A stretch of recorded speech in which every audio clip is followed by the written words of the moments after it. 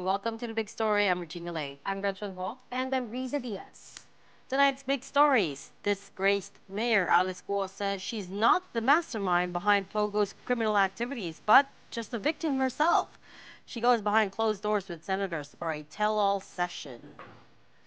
House lawmakers call Vice President Sara Duterte's behavior a betrayal of public trust after she snubs for the second time the House plenary debates on her proposed budget for next year.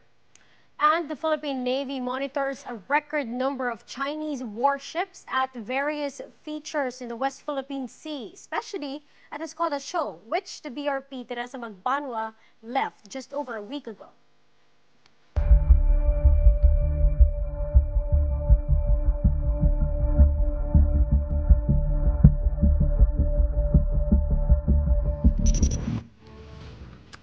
Alice Guo has denied being the mastermind of illegal pogos in the country. In fact, she says she's a victim too. Guo told senators she will reveal who the most guilty party was in an executive session and so off they went behind closed doors this afternoon.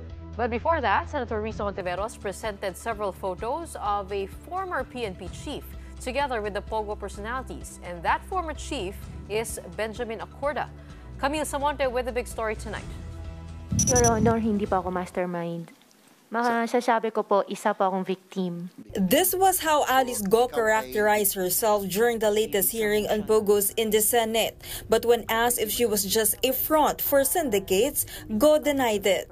The former Bamban mayor added that by now, senators know who exactly is behind the illegal Pogos in the country. Uh, Your Honor, hindi naman po siya ginamit. Ano po akong tao, helpful akong tao.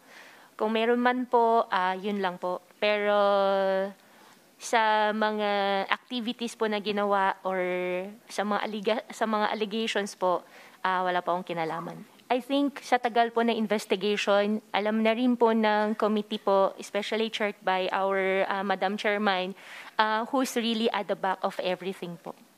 Guo reportedly says she is ready to name the so-called most guilty behind illegal pogos. Later on, she was granted her request for an executive session to reveal everything she knows. But it almost didn't push through because Guo's camp requested to postpone it until Thursday. Don't tell us to hold that's what we are offering. Start now. The executive session did push through, but the details of Go's disclosures were not made public. Before that, Sual Pangasinan Mayor Dong Kalugay was also questioned about his alleged withdrawal of 500 million pesos. After last week's Senate hearing, a claim the mayor denied. He said he is willing to sign a bank waiver to prove his innocence. Hindi po totoo, Your Honor, po yung mga hundreds million na million po na na, na withdraw po, Your Honor. But do you have uh, hundreds of millions na pag-aari o salapi, Your Honor? Wala po tayong ganyan, Your Honor. Senator Joel Villanueva pointed out that Calugay's salary was not significant when he was still a policeman, which led to the question of where the money came from. Calugay responded that his family has a business which grew after he retired from the police force. In addition to Tony Yang, the brother former presidential economic advisor Michael Yang, a photo also showed Calugay with Alice Guo's brother Wesley and former PNP chief Benjamin Acorda.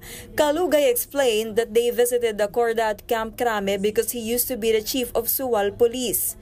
Nagpicture lang po, tapos uh, umalis na po kami. Hindi ko po kilala ah, po nagpa-picture lang kayo kay Chief? Opo, Your Ano ba ang pakay nyo? Bakit kayo pumunta? Namasyal lang po kami, Your Honor. At uh, ang sabi ng mga kasamahan ko po, gusto po nilang makita po si, si PNP. Acorda will be invited to the next Senate hearing. In a statement, the former PNP chief said he loves the country and the PNP organization, adding that he only did what was necessary as a Filipino and as a police officer. For News 5, Camille Samonte, We Are One News. A disbarment complaint has been filed against former presidential spokesperson Harry Roque. The case was filed by lawyer Melvin Matibag, former acting cabinet secretary of the Duterte administration, at no less than the Supreme Court. This is over Roque's social media posts, including a deepfake video of President Bongbong Marcos supposedly using drugs, the so-called Polvoron video, which went viral. In a statement, Matibag said lawyers should not knowingly or maliciously post, share, or disseminate false information under the revised Code of Professional Responsibility and Accountability. In response, Roque called the disbarment complaint against him a desperate act of attention. He said the video supposedly involving the president is a national security matter and posting it is protected by free speech. He added the authenticity and the content of the video deserve widespread discussion. Let's try to get more details on this. We have with us tonight on the big story attorney Melvin Matibag. Good evening, attorney. Well, thank you so much for your time. Good evening to all your televiewers. Okay, attorney, uh, just to be clear, is the Polvoron uh, video, the so-called Polvoron video, uh, the main basis for this disbarment complaint. And uh, I was trying to look for the origins of that post. Uh, uh, former presidential spokesperson po ba yung original poster of that? Uh, uh, can, can you clarify that? And if that is not the only post, what other what other posts are your basis for this complaint? Well, first of all, uh, hindi lang naman yung uh, posting ng dun sa deepfake na yan yung pinag-uusapan natin. And uh, besides, it doesn't matter whether he is the original na nag-post or kung siya yung gumawa, but it looks like siya yung una nag-claim niyan eh. Ang uh, sinasabi, yung sinasabi na tungkol dun sa uh, covered by Priest National Security, hindi naman kasi yan na floating na idea. It's uh, something that is fabricated. It's been proven already.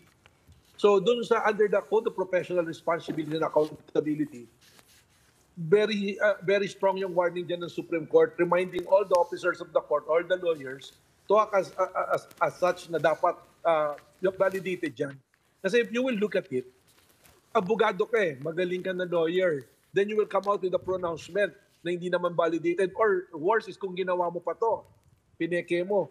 So yung makakapanood nito ng mga ordinaryong tao, may tendency na maniwala dito eh. So this is something that I'm doing in order to protect the integrity of the legal profession. We are we are given the privilege to practice law. So ibig sabihin dapat yung standard namin mataas eh. And this is the opportunity of the Supreme Court to come out with the rules. Paano ba natin i-interpret tong Section 38 na bagong rules ng CPRA na recently lang in-implement. So, ito talaga yung main reason dito. Okay, uh, And I think this is also the opportunity of Secretary uh, of uh, Attorney Harry Roque to explain kung ano yung take niya rito sa situation na to. Wait, would you have to prove malicious intent uh, in in probably the sharing of that post? Because paano kung di, na, naloko lang din po si uh, presidential spokesperson hindi niya alam na deepfake yun.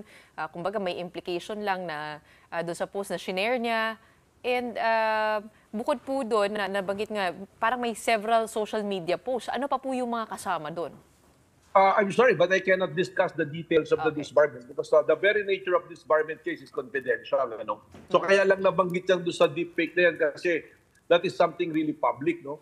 So yun na nga, doon sa binabanggit mo, ito na yung opportunity nga ni Secretary Roque na ipaliwanag kung bakit may ganon. And I think it's an opportunity also for the Supreme Court to come out with a clear jurisprudence para alam namin mga abogado kung ano yung dapat sundan namin, how to behave when dealing with social media and posting issues and uh, mga ideas na maiisip namin. But isn't this barment a little bit severe um, for for uh, uh, posting something online? Al- alam mo kasi yung abogado, binigyan ka ng poder eh. Mataas ang uh, standard na binibigay sa'yo eh. Because you're given enough power. So dapat uh, mindful ka ano yung magiging mga effects nito, yung ramifications sa mga gagawin mong action. So, ang Supreme Court naman, if they feel na hindi dapat in this bar, suspension lang, or kung ano mang penalty, they will be the one to decide on this matter. Uh, a lot of people share that post, though, attorney. Are you going to go after them? Why single out Harry Roque? Well, sabi ko nga dito, ang, ang pinanggagalingan nito is Section 38. Eh. That's a new rule under the CPRA. So, iba yung standard sa ordinary citizen at saka sa abogado. Attorney, um, Attorney Roque is calling this call for disbarment um, as a desperate act of attention. Your your Well, he can, that? He can view it uh, the way he wants to view it, and I think yung attention niya nakakuha nga. So I think he just have to wait and see the actual uh, complaint for disbarment, and that's the time probably that he can comment and do whatever he wants to do sa sa uh, disbarment na yan. because he will be given 10 days from the time he receive, receive the copy to answer the disbarment because I know that the Supreme Court takes every uh, disbarment proceedings seriously and ako as, also as a lawyer hindi naman ako pwedeng basta na lang mag-file ng previous na disbarment eh, because I also have a responsibility under my attorney's oath and the CPRA. Attorney, since we have you, let's talk politics a little bit, if that's okay. You know, the last time we spoke to you, you were still the SecGen of PDP Laban. I know you've, Yeah. I know you've since resigned, but I never found out the real story behind it. Why did you step down? Well, uh, I, I have several reasons. No? One of that is yung sumulat ako ng, I'm writing an article uh, every Friday sa Daily Tribune, and I wrote that article strongly objecting to the confidential fund para sa Office of the Vice President and sa DepEd. But hindi lang naman sa ahensya na yon, but all the other civil agencies. And I think hindi yata naging maganda yung pagtanggap doon. And I think there will be a conflict kung I will remain as PDP defending that position, which I don't believe legally and personally. So that's one of the reasons. And uh, other than that, my wife joined the political party of Lakas and uh, I feel that uh, hindi naman maganda na I be belonging to another political party na medyo hindi aligned doon sa principle and beliefs ng partido na sinalihan ng aking uh, may bahay. So, so you're both with Lakas now? Is that correct? No, I'm not, uh, I'm not, uh, I don't belong to any party right now. Wala po tayong political party sa ngayon. Okay. I'm now Uh, a private practitioner po. Okay, got it, attorney. Um, what was your issue with the use of the confidential funds specifically? Well, for for me, hindi hindi dapat may confidential fund ng mga civil agencies. Uh, the confidential fund belongs only to the agencies that uh, uh, tasked with intelligence gathering. Ngayon, kung kailangan ng OBP tsaka ng DepEd ng na magkaroon ng uh, confidential data or yung mga security data, then they can coordinate with the other agencies in charge with doing or the mandate to gather intelligence uh, reports. Uh, pati po ba yung Office of the President, dapat wala ding confidential funds? Kasi, kumbaga, hindi naman sila yung main agency uh, na... No, but, uh, the, very simple, no? The president is the commander-in-chief, so he's in charge of the military, the military force. So, kailangan yan. And in all other jurisdictions, ang Office of the President, meron naman eh. So, that's the basis na eh. Um, I, I guess uh, it's all a little bit curious, attorney, because you are, or uh, can I say were, a former Duterte ally. Uh, you served in former President Rodrigo Duterte's cabinet. Um, and now it seems you're on the other side. Is that fair to say? Attorney Matibag. Did I lose him or he just doesn't want to answer? Suddenly we became we so lost him. quiet. I think we lost it. I'm trying to find out. Uh, Oh, okay, okay, so we have him. He's not trying to evade the answer. Attorney Matibag, can you hear me okay? Thank you. We lost you for a little bit there. No, no yung, th- there's no other side for me because I, I think I served the Duterte administration well. I followed this uh, direction. Sabi naman niya, you should always be on the side of what is uh, lawful, what is good, what is just, and what is uh, uh, truthful. So nandun lang naman tayo. Okay. Hindi do naman know- tayo nagte-take side. But we do know your wife, uh, Representative uh, Maria Rene Matibag, is with Yes. Lakas CMD, and you also, I, I, I saw in a presser that you decided to um, leave PDP Laban because of her uh, interest as well. Well, uh, that, that is something personal. Pero yun ang mga decision ng asawa ko as to uh, her legislative agenda or agenda niya sa distrito niya, sa kanya yon. But uh, yun naman sa akin, as a lawyer, I think I also have an obligation as an officer of the court. Saka kung ano yung positioning ko, that, that is my own positioning also. Okay, having said all of that about confidential funds, can you weigh in on what's happening at the lower house right now, wherein the vice president has flat out refused to appear and defend the OVP budget? She's only appeared once, and we all know what happened there, and that was during at the committee level. But even at the plenary, we're still, or the House lawmakers are still waiting for her to turn up. uh, and they haven't gotten answers to a lot of their questions. Can you weigh in on that, please? Well, I, I, I, I think mean- uh, uh, that is a problematic situation with VP Sara. Th- that is their mandate. She should defend the budget of her office. And uh, she should remember, being a lawyer also, there's a doctrine in political law that the powers of Congress, the House of Representatives and the Senate, is plenary in nature. When you say plenary, they can ask anything and everything under the sun. And the duty of the representatives, of the lawmakers, are to ask questions. At ang duty naman nung, nung nag attend as a resource person is to provide answer. So hindi ko naman maintindihan bakit sasabihin mo irrelevant yun when you are discussing the budget and looking at the behavior, how you spend people's money. Because at the end of the day, it's all about accountability and fiscal responsibility. So tingin ko dapat naman sagutin niya. That is her responsibility to answer questions. Hindi naman pwede na dahil ayaw mo lang, you will give your reasons na ayaw mong sumagot. Do you think it's uh, enough basis, uh, her refusal to answer these questions, enough basis uh, for uh, impeachment? Ah, ako naman on that on that note palagay ko naman ay hindi naman ganun ganun pa yan tumaabot pa sa impeachable na offense because malinaw naman yung sinasabi sa constitution kung ano impeachable culpable violation. Pero kung tuloy-tuloy na ganyan at paulit-ulit series of events, siguro we can analyze it pero right now yung mandate niya kailangan niya sigurong ah, tindigan at at isagot sa sa mga nagtatanong kung ano yung dapat na sagutin niya sa mga tanong ng Kongreso. As a former Duterte official attorney, of course, you know her too. Uh, I'm talking about Vice President Sara Duterte. Has she always uh, has she always been like this? Would you say it's um, it's uh, everything that's happening is uh, reflective of who she is? Well, actually, hindi naman kasi parte ng PDP laban si uh, VP Sara. eh. She was never a part of the PDP laban. She's uh, neither part of the Duterte administration at that time. But of course, she's the presidential daughter. Pero somehow, alam naman natin, may mga influence naman siyang ginagawa dyan. So, uh, I, I think uh, during the Duterte administration, she's one of the influential and powerful individual.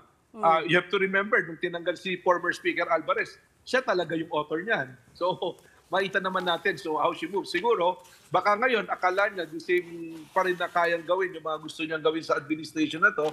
We have to realize that there's always a different mandate. Ang sa akin po dito, yung kanina nga, in relation to, tinatanong ninyo kung, kabilang panig ako, I'm always for the mandate of the people. So if the people voted for somebody, kailangan po irespeto po natin yon. Proteksyonan natin at all costs.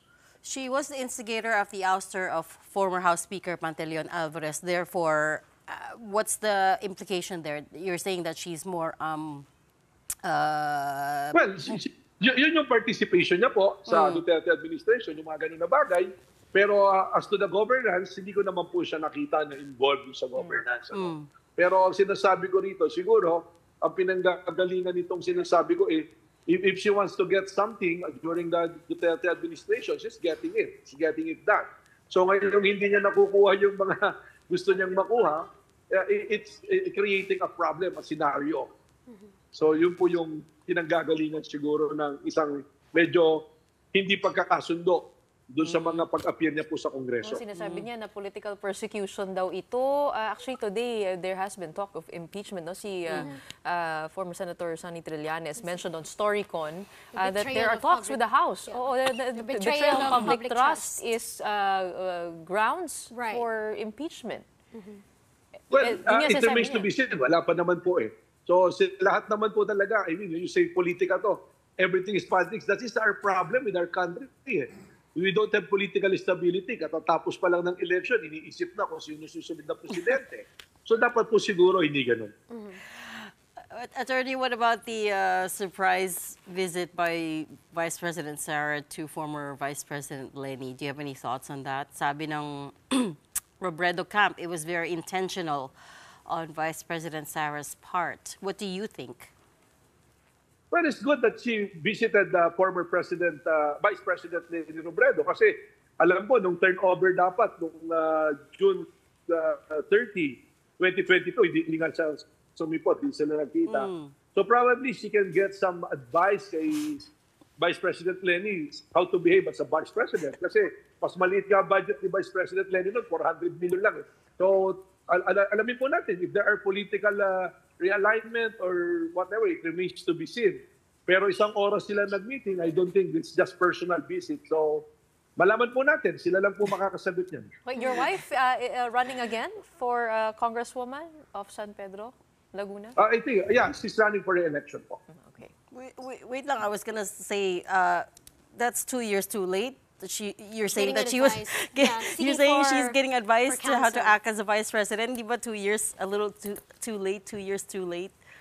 Um, she's been in position Eh, two years. Sometimes yung realization naman po natin talaga it's late. eh. So, tingnan po natin. Pero May I- I'm empathy just na second kasi. guessing it. Oo, may empathy na. Okay. All right, thank you so much for your time and for uh, joining us today. Uh, we have Attorney Melvin Matibag. All right, thank you.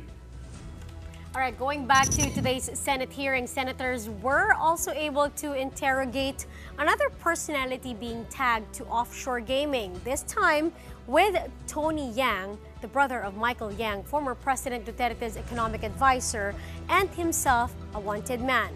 Full story from our mobile journal, Francis Orsho. Alam mo, ko tayo nitong Chinese national to. Marunong ka, mag, marunong ka ba at magbisaya eh. Kunwari lang, hindi ka marunong eh. There was a new character who turned up at the Senate's 14th hearing in Topogos. Businessman Tony Yang. Tony is the elder brother of Michael Yang, who in turn was the former economic advisor to President Rodrigo Duterte. Michael is another personality being linked to Pogos. Tony Yang has been living in the Philippines since 1998 or 1999 and claims that he only speaks Chinese. That's why he brought an interpreter to the hearing. Di ako makapaniwala. Quarter of a century na kayo dito sa Pilipinas, sa Cagayan de Oro included. At di pa kayo marunong mag-Bisaya fluently o Filipino fluently. Dili ako buang para maniwala dyan. Tagalog, Bisaya, maing kunti-kunti. According to Yang, he was born in Fujian, China and does not carry a Philippine passport. But he does have a Filipino birth certificate, which his grandfather registered back in 2004. The older Yang supposedly did this to facilitate business in the Philippines. Aside from a fake birth certificate, it was also revealed in the Senate inquiry that Tony Yang goes by different names. In his alien registration form, he is Yang Jansin, and Antonio Estado Lim and Antonio Lim in his driver's license and tax identification card. You have profited from changing your name and your nationality dito sa iba't ibang ah, submissions nyo. At your convenience. Talagang for convenience. Gaya ng sinabi nyo tungkol sa lolo nyo. You're only Filipino when it benefits you. According to the Presidential Anti-Organized Crime Commission, Tony is a silent but sharp operator. He allegedly runs the family's businesses, legitimate or otherwise. Siya po yung parang ah, nagpapatakbo ng mga businesses, ng mga youngs. Pati Pogo businesses. Yes, ma'am. Pati po yung Pogo business niya. Even ah, yung malalaking business nila na nasa Cagayan de Oro. Aling mga malalaki po ito? Yung uh, Sanjan, ah, Steel, ah, nasa kanya po. And then ah, de, yung ah, hotel and ah, yung rice rice mill. And it's a vast and secretive empire that the Youngs established in CDO. They ah, tried to establish yung ah, parang kingdom nila, yung lugar na yun, ma'am. Parang ah, hindi ka pwedeng magpasok ng business doon sa area na yun, ma'am, kung hindi ka dadaan sa kanya. And Tony Yang also supposedly mingled with people in high places, including officials from the PNP, as high as former police chief Benjamin Acorda. Referring to photos of him with Acorda, Yang said they were taken during an event by the Cagayan Business Federation. It's not actually a meeting. It was just us visiting uh, the head of police in Cagayan during that time. O ako da, o ako ta kanin. Akola, Akoda. Oye, so puta. Okay. I call him Akola or Akoda. He's the former chief PNP. Yang was also asked about his relationship with former President Duterte. He said he has only seen the chief executive once during a meeting with a Chinese businessman. There are at least seven corporations with SEC documents registered under Tony Yang's name. That's aside from nine other businesses traced to his tax identification number. Of particular interest to senators is Yang's Shanja Steel Corporation in CDO, believed to be a Pogo hub and said to have more than 100 Chinese employees. Hindi pa po namin napapasok, ma'am, yung lugar. But uh, yung uh, intel uh, report po na nakarating sa akin, and of course, yung mga documents na nakita namin, it all points to uh, a POGO operation. He does play a major role sa criminal uh, networks na ng Pogo doon. Yes, ma'am. Then there's Pogo service provider Oro One, where Yang is president. His initial explanation, he only helped Oro One secure a business permit. Later on, Tony admitted that he is an incorporator of the company. Today was supposed to be the 14th and final hearing of the panel, but senators were left with more questions after today, which means they will have to hold more hearings in the coming weeks. Mobile journalist Francis Orsho, we are One News. Up next, a record number of Chinese warships have been spotted in the West Philippine Sea. What does this mean? We'll discuss this further with Benjamin Blandin, associate researcher for Gordian Knot and Project SeaLight when the big story returns. Stay with us.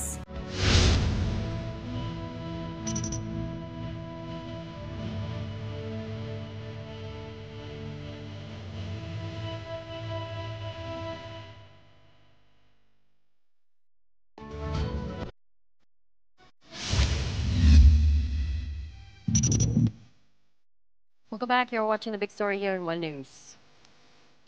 Vice President Sara Duterte's continued absence at the House of Representatives is stalling her very own budget. The lower chamber had to reschedule plenary debates on the OVP budget again today. She gets one last chance to defend it tomorrow. Marian Enriquez has a story. From 10 in the morning on Monday until the wee hours of the morning today, Tuesday, congressmen waited for Vice President Sara Duterte, or at the very least, an authorized representative from her office.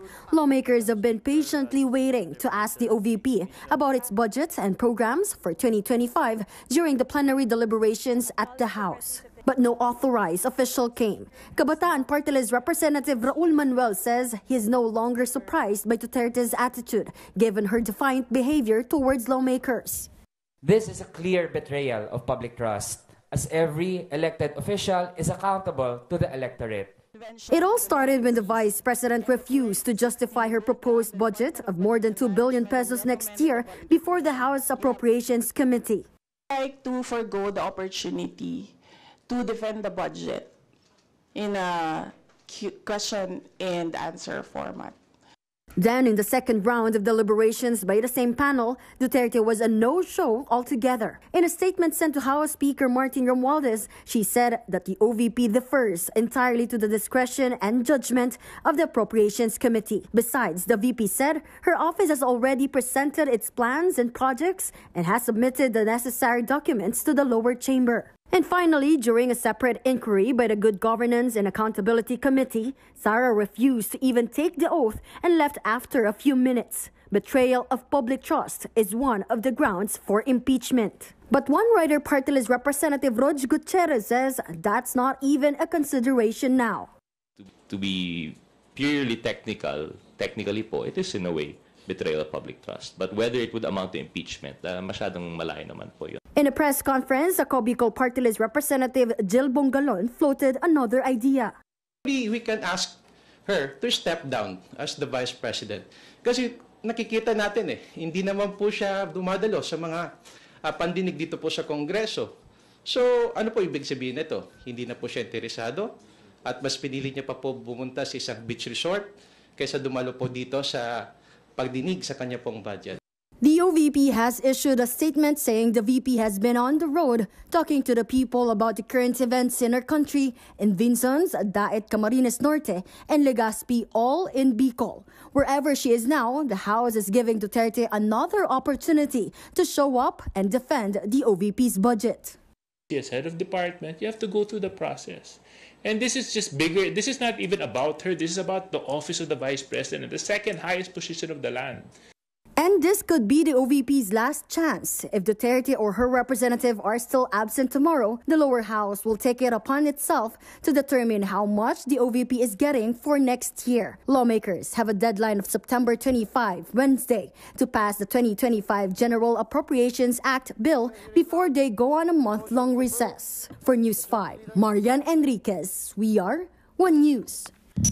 Now, although they downplayed talk of impeachment, that phrase, betrayal of public trust, is crucial.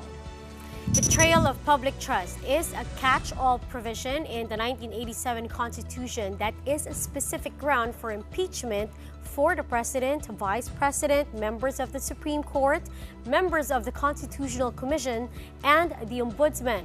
Remember that a couple of weeks ago, House Majority Leader Mannix Dalipe had already warned that Vice President Sara Duterte may be liable for graft if she is unable to explain satisfactorily how she spent her confidential funds in 2022.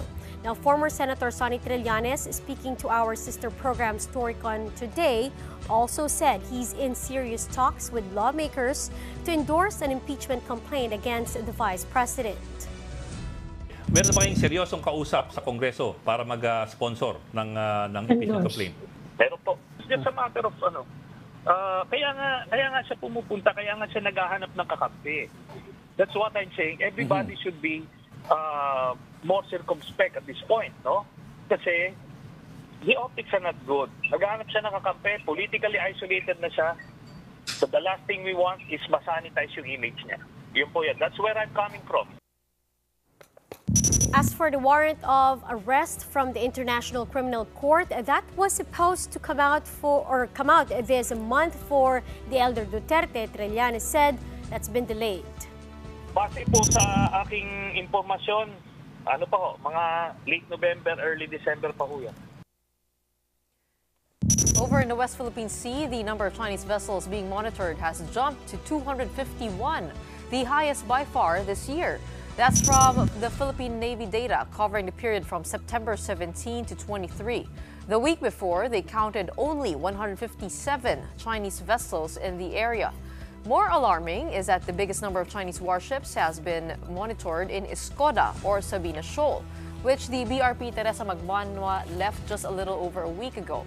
At Escoda, the Navy tallied 55 Chinese maritime militia vessels, 16 Coast Guard vessels, and 11 People's Liberation Army Navy warships.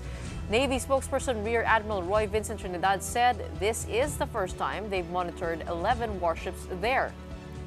As for the other features in the West Philippine Sea, in Ayungin Shoal, they counted 62 Chinese maritime militia vessels, or CMMs, 9 Coast Guard vessels, or CCGs, and one research survey vessel or CRS. Iroquois Reef had 38 Chinese maritime militia vessels present, and near Pag-asa Island, one CCG, 23 CMMs, and one CRS were spotted. Meanwhile, 17 Chinese maritime militia vessels were reported near Julian Felipe or Whitsun Reef. At Bajo de Masinloc, also known as Scarborough Shoal, there were two Chinese Coast Guard vessels, two PLA Navy warships, seven CMMs, and one research vessel. And finally, three PLA Navy warships were seen near Likas Island, while two CMMs were monitored near Panata Island, also known as Lankiam Cay. The Navy attributes the sudden spike in the number of Chinese vessels to better weather conditions. They added that each time there is a weather disturbance, the number of Chinese ships decreases, only to climb again once the weather improves. What do we make of China's growing presence at various features in the West Philippine Sea? Well, let's dive into this with geopolitical analyst Benjamin Benjamin, sorry, Benjamin Blandin. He's also associate researcher for Gordian Knot and Project SeaLight, and he's also a PhD candidate in geopolitics, focusing on the phenomena of asymmetric warfare in the South China Sea at the Paris Catholic University. Thank you very much. He's live in studio with us again today. Okay, so that was a a whole lot of numbers she just mm -hmm. threw out. Sure. Mm. Um, we're not going to go back into them, but I will highlight the fact that there's the biggest number, they are seeing the biggest number of warships Absolutely. at Escoda or Sabina Shoal. Uh, we're talking about 11 Chinese warships, 16 Coast Guard vessels, and 55 maritime militia vessels from China. What did you make of that? Uh, I make that it's the biggest number by far, always in the West Philippine Sea, but you shouldn't think it's only the Philippines because just a week ago it was exactly the same in the EEZ of Malaysia. So, and for the first time, China deployed military vessels and maritime militia vessels also in the EEZ of Malaysia. So it's, it's quite a trend, and it just matched with what we have obs- um, observed since uh, the second semester of 2023, with a, a growing presence and assertiveness uh, constantly increasing of China. You don't reckon it's a sign that they are trying to take de facto control of Sabina Shoal, for instance? What I think is that when you look at a map, uh, Sabina Shoal is actually just right to a second Thomas Shoal. So you Mm. can see the connection between the two. Mm. And it's, it's just in the trend of the past year where China has been uh, more and more present to uh, attack the interests of the Philippines.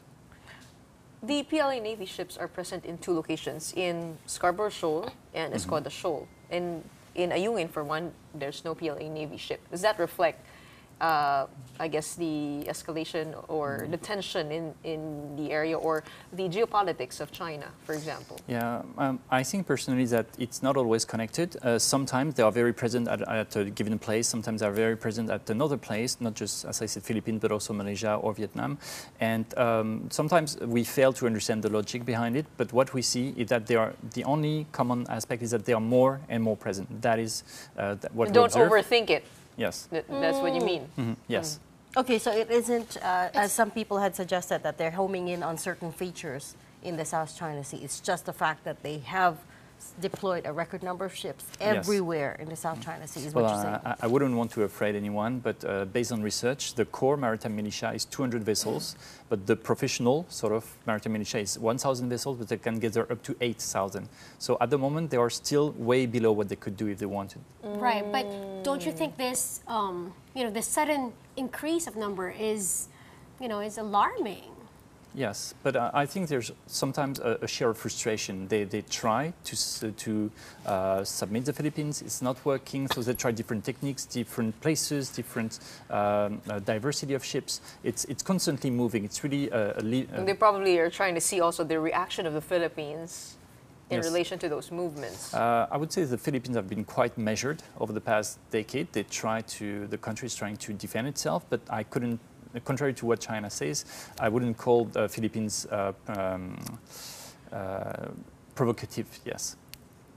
you, you believe that to be true in the Escoda Shoal because when because uh, when the BRP Teresa Magbanwa was there, um, Ray was Ray Powell was saying here on the show that there wasn't any particular interest in the Escoda Shoal. It wasn't even mentioned in the arbitral award, but the basis of the BRP Teresa Magbanwa being there was um, all this talk about the possibility that China was doing an artificial island building Mhm. in that area.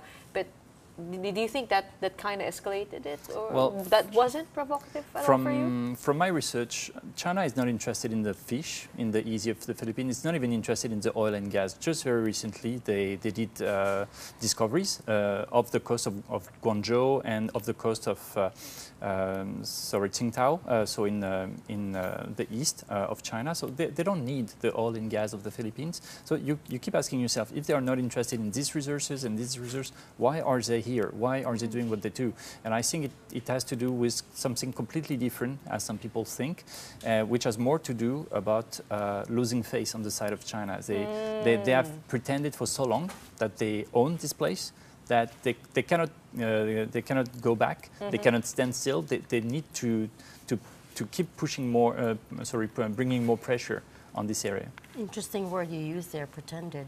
Sorry, you- you're saying they did exploration in Tsingtao, and the other one is Yes. Uh, so there is a Bohai Sea and off the coast of Guangzhou. Guangzhou, and and they discovered oil and gas yes, there. uh, uh, very very huge quantities of them. Mm, Oh wow. Okay. Um, but but with as, as far as Escoda Shoal is concerned, at the moment, of course, um, the BRP Teresa Magbanwa has left, uh, and just Well, now to be replaced. Uh, in fact, just now, um, sources are telling us that the replacement has arrived there, and it's the BRP Gabriela Silang. Yes. And what's interesting about the Gabriela Silang is that it's uh, it's actually French built. Yep, totally. Built by So- OCEA Shipbuilding, which is at uh, ADAS 2024 in Manila uh, from Wednesday to which to you're Friday. organizing, which we'll talk about Yes. uh, shortly. But but okay, so so what's so special about it being uh, built by the French? Can it uh, stay out there longer?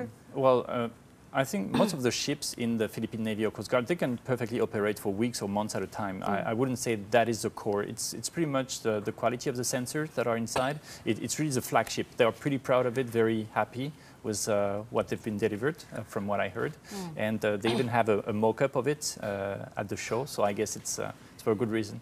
We've talked to a lot of people about this, about whether or not uh, the Magbanwa should have left Escoda Shoal just like that, right? I mean, we understand Yes. that it's stayed out there nearly five months, longer than expected, but still, uh, some people believe that there's uh, just leaving it without a replacement Yes. right away made it left the area vulnerable. What do you think?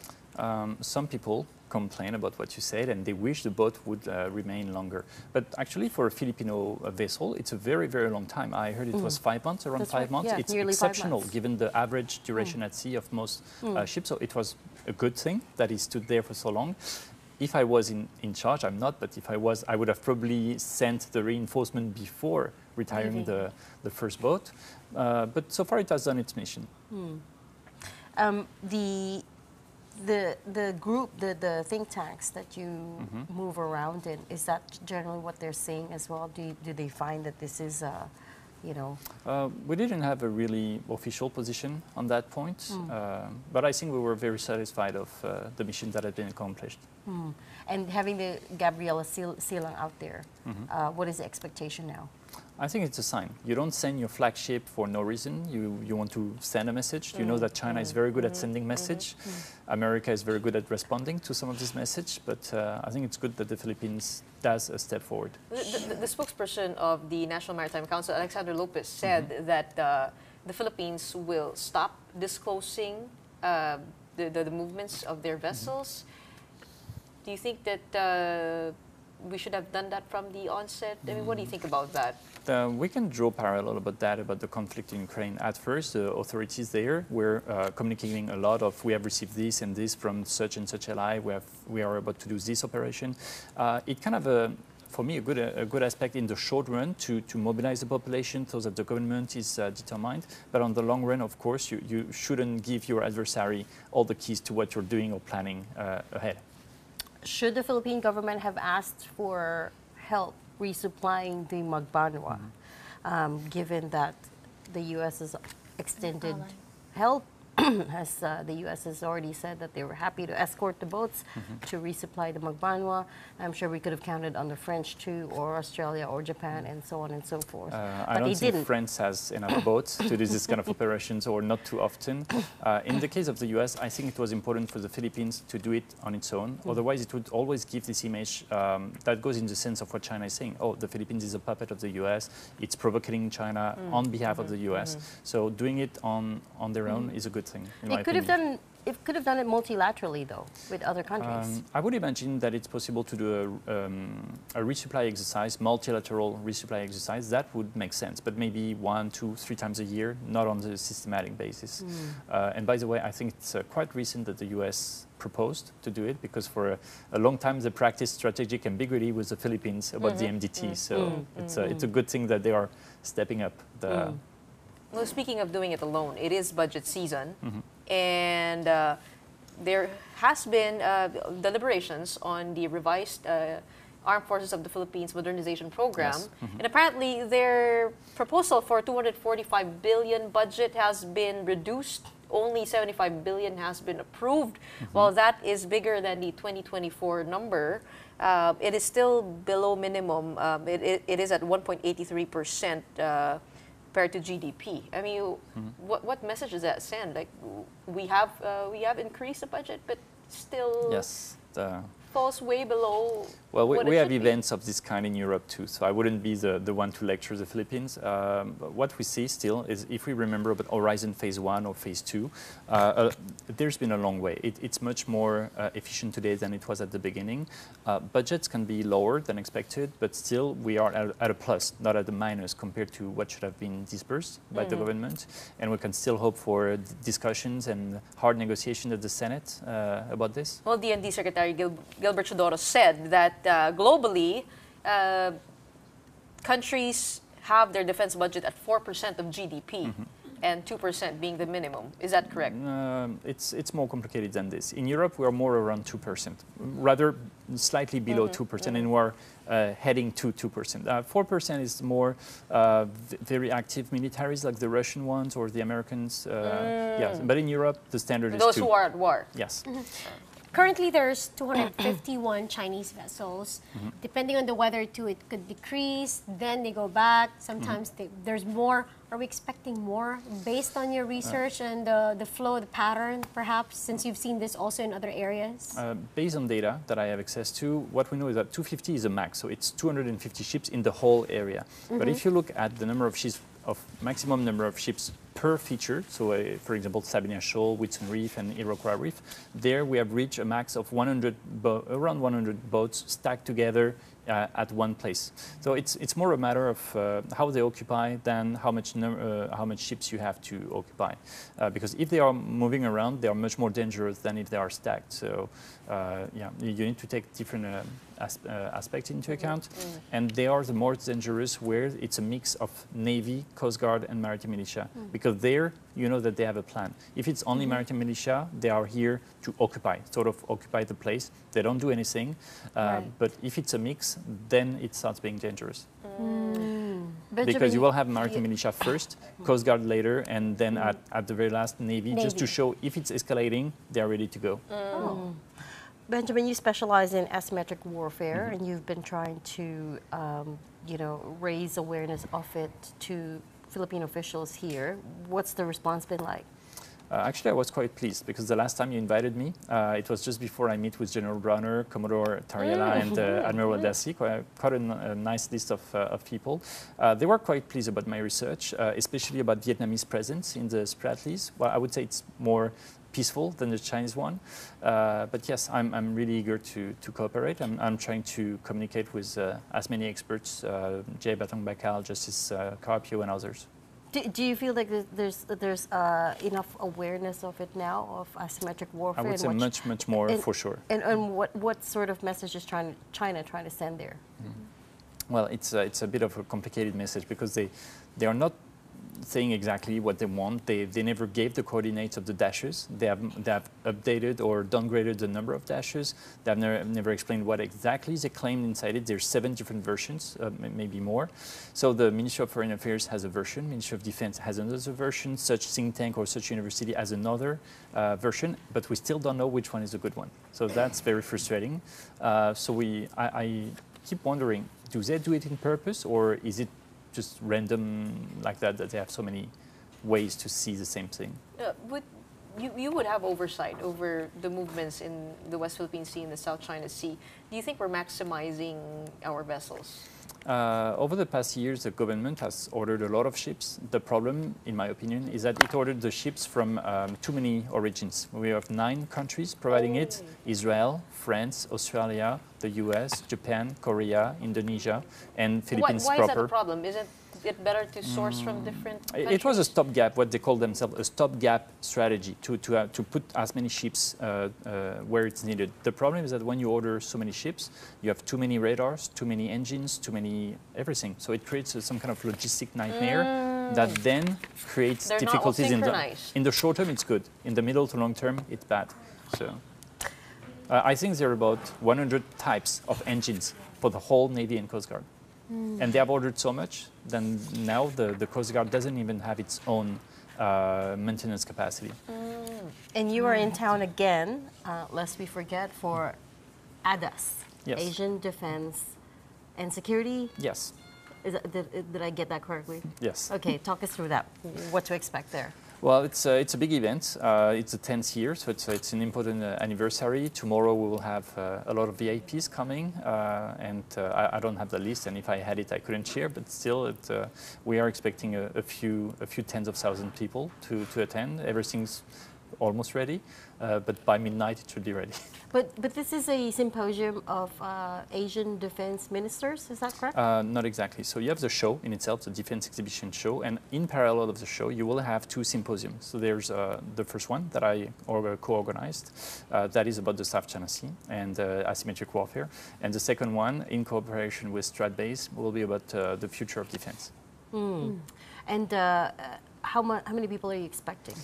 Uh, as much as possible, but uh, in, uh, in, in between 100 and 200,000 people would be nice. Ha- has Manila always hosted this, or it's Well- it's it's uh, rotated around Asian cities?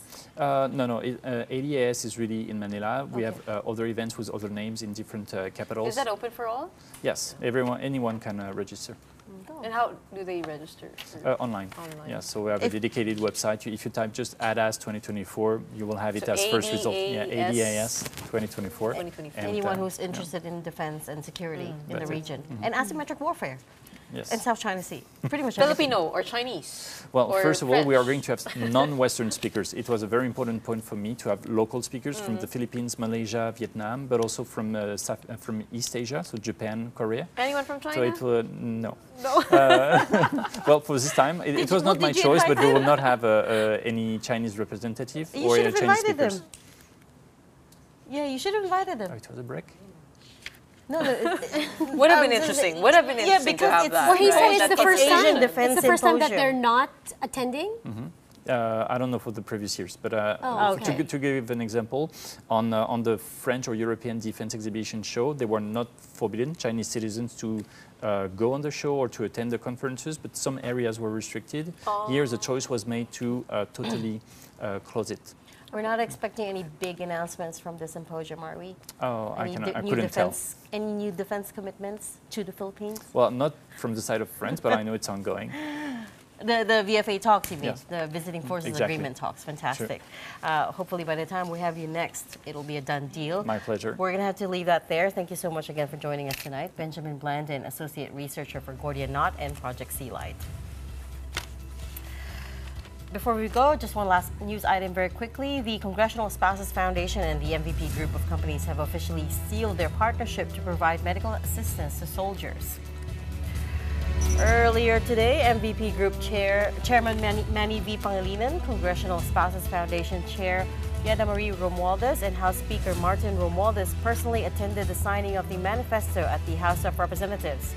The aim of this partnership is to establish specialized facilities for the military, including a new casualty and cancer center, cancer center being built at the AFP General Hospital.